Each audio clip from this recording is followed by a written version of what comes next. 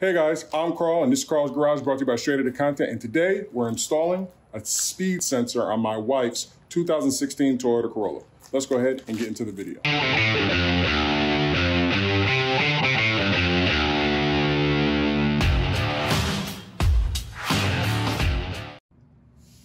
Okay guys, so I've got the wheel off because you're definitely gonna need to do this because this is your speed sensor. So this is it right here. And it's just a little 10 millimeter bolt. And that wire runs all the way up here, all the way here. So you're gonna have to disconnect it from here. And then it runs all the way into the wheel well. And if you can peel it back, see if I can get some light up here. It's gonna be right there. That's where you're right there. Oh, sorry. So that thing right there is where you're gonna disconnect it. You can peel this back. I'm gonna try to peel this back without having to take all of this off. Um, if you do have to take all of this off to make your job easy, you wanna get yourself a set of these uh, panel removal tools. I'll put a link in the description down below for all these. It's not that, I think it's like 10 bucks or maybe even five bucks to get all these. But I'm gonna try to peel this back as much as I can to get to that. I wanna disconnect it there first because I know all of this is easy. This is just a 10 millimeter bolt. This will come done. And then I think it's another 10 or 12 right there. No, actually, yeah, I think for this whole bracket, but I'm gonna go ahead and start there with the 10 millimeter bolt and unclipping it and then take it out because that's probably going to be a lot harder than putting it in. So let me go ahead and do that.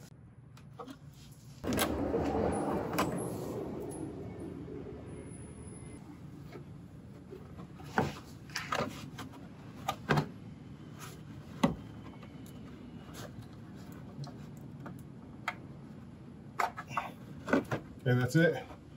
Just push this little tab in, slide it out. Now we can start disconnecting it from here all the way down. Pull this. Okay, so in there? Let's get my tool. Hey guys, I just wanted to take a second out from this video to let you guys know that I am having a giveaway sale for Super Clean. All you have to do is subscribe, like the video, leave a comment, screenshot it, head on over to my Straight Outta Content Instagram and DM me and send it to me proof that you subscribed, liked, and left a comment. Or you could just leave a comment and say, hey, I'd like to be entered into the uh, sweepstakes in order to win some free super clean products. I'm back finally from COVID and I'm able to start giving out some products from Super Clean. It's a great company. Check out all my videos that I have on Super Clean and how we're able to clean a lot of things using Super Clean. So I just wanted to take a second out of this video and uh, let you guys know about the giveaway. Let's go ahead and get back into the video. Now that I got that one a little bit loose, come back with my little more aggressive tool. I got a little bit of a gap. Boom, got that right out of there. Okay, so now that we got this hanging right here, this is a 10, this is a 15, this bolt over here, that's a 15. It's gonna come all the way down here. Then this right here is a 10. So I'm gonna use this to do on my 10s. I'm gonna use this right here to do on my 15s. Okay, so I got my 10s right here. Everything is really easy. This should take that stupid dash light off. My wife doesn't like it. She's really upset. She says her car's a hoodoo now. She says, babe, I got a hoodoo. All the lights are on the dash. Reminds me of all my old cars because she bought this car brand new right off the lot in 2016. She was very proud of herself. So my goal is to just put it back to as close to stock as possible. I'm gonna let this hang because if I take it, it's gonna drop. So I'd rather pull it from here with the last bolt. So I'm gonna go over here and do the 10.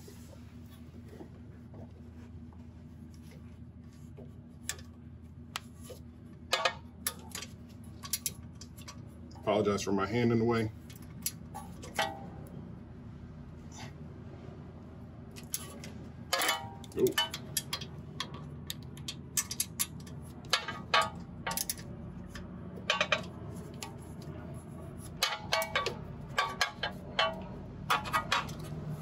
Take this off by hand now.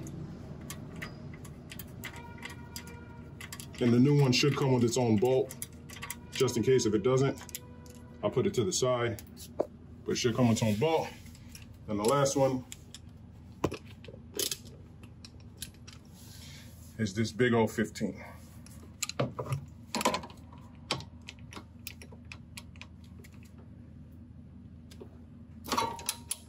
Be careful, almost cut myself. Yeah, so my wife, I'm just trying to put the car back together for my wife so that she's not sad anymore. She's pretty upset about all the, the tire pressure light is on, the oil change light is on, and um, I'll just put, I'll just leave this right here. Take this off. See, comes off. And then there's only this little tiny clip thing right here. Got that, unclip this, slide this out. I didn't want to take the whole thing out. It wanted to come out, but I didn't want to take the whole thing out just in case the new one doesn't come with it. And I can raise this on out of here. Here we go. Oh.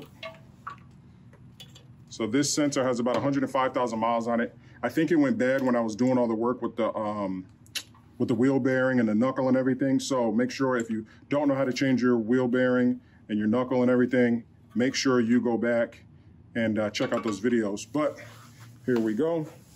So what you want to do whenever you get a new part, you always want to make sure that your new part lines up like your old one. So let's go ahead and open the package. Okay, so this is the part number for this one. Again, this is for a 2016 Toyota Corolla. This should work for a 2014 through 2018. Should work. I'm not gonna say it will, but I'm just saying it should work. So whenever we take this out,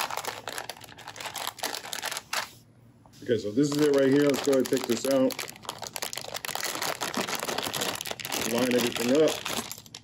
Ah, look, it comes with everything. So I can actually, it does actually come with the piece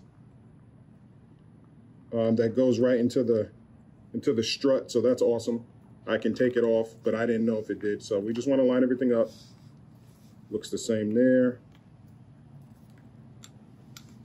Looks the same right here. Looks like the same connector up there. Okay, because as you guys seen, or if you haven't seen, if you haven't seen in my video where I did my uncle's tail lights, everything looked like it fit. And then what happened, the bulbs didn't end up fitting and then the connections weren't perfect. And it was a whole bunch of issues, but I had to modify it. This, it doesn't look like I have to modify it. The actual sensor looks correct. This sensor does look beat up. Again, this one has 105,000 miles on it. Everything here matches. Everything here matches. You got this piece right here, which isn't on. Oh, yeah, it is right here for this hole. So that hole's there that hole's there, and then the connector. So let's go ahead and install it. So just like I thought, it doesn't come with the bolt. So I'm glad I saved the old one down there because the new one does not come with the bolt. So we're gonna go ahead and put this in first, make sure this is all snug because I don't want this waving around while I'm trying to hook up everything over there. So let's go ahead, put this in its place. Okay, so I got everything in. Got the actual sensor in. I didn't tighten this one all the way down. Got it here. Didn't tighten this one all the way down. I tightened this one down to give me some slack. And then all I gotta do is just connect these two right here. And um, you wanna make sure that whenever you connect these two, you put this clip back in. Um, I took mine out, so you wanna make sure that you put it back in so it stays nice and safe. I'm gonna go ahead and do that, and then we're gonna jump in the car and see if the light turns off or if I'm able to turn off the uh, traction control. Okay, so everything is in. It's in up there. It's clipped in. Make sure it's tight. Yeah, but this, this piece is really good. I'm gonna go ahead and tighten everything up and then I'm gonna jump into the car. We're gonna see if the traction light goes off. I don't think that the car has to be, uh, I think the car just has to be on. I don't think the wheel has to be on or anything, but we'll test it first with the wheel off, see if anything happens, and then we'll test it with the wheel on. So let me go ahead and tighten this up over here, the sensor, so this way it's sitting right and then uh, we'll jump in the car. All right, I'm in the car. The car's on the ground. I checked it while the car was in the air, but I was, I didn't want to start it while I was like that. So this is actually the first start. I didn't know if I was supposed to remove the negative battery cable I might have to do that. That is the light that continues to come on whenever I push the off button. Maybe I need to drop.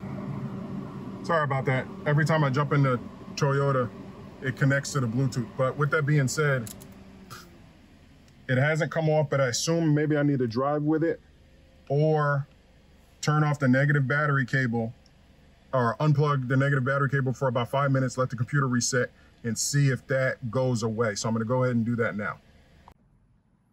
All right, so I'm back in the car. I'm about to go take the car to go get um, air in the tires. I don't know if you know, but my local Lowe's actually allows, uh, they have a free air pump outside, so it's pretty cool. So I'm gonna go head over there because these front tires need air. I just connected the battery, negative battery terminal after taking it off for about five minutes.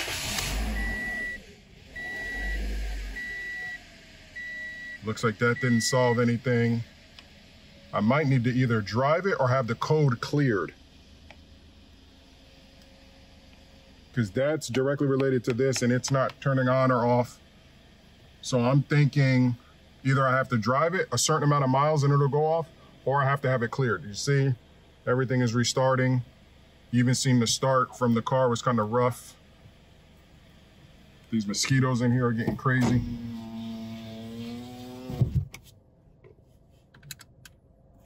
Let's try it, start it again, make sure there's no issues. Okay, there's no issues.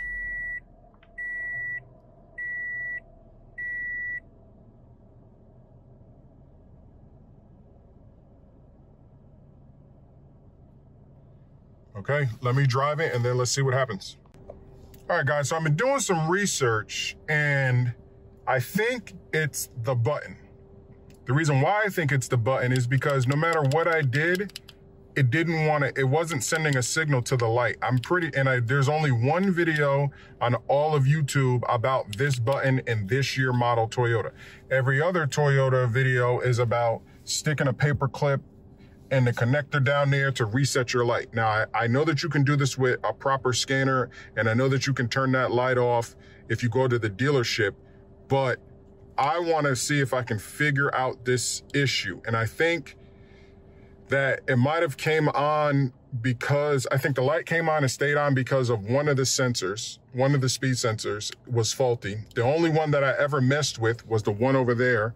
I did mess with the one over here, but at the very least, this button should be doing something and it's not. So I'm gonna price this button and then I'm gonna make a separate video uh, to see if this is it. But I wanna go I don't have the right connectors. I don't think I have an ohm meter thing. I think I do, but I need to test to see how to test this to see if this button is actually working or not. So I will do that in the next video, but that's the end of this video. I did successfully change the TP, I mean, the speed sensor, but as you can see, the light is still on, but this does go wrong. This does go bad. As you can see, it's really gunky and disgusting in there. And it's really nasty. You can see all the gook and grime and stuff like that. So I took this out to see if something would change with this light and it didn't. So I'm, I think it's this, but we're to find out in the next video. So thank you guys for tuning in to this one and uh, stay tuned for the next one. Peace.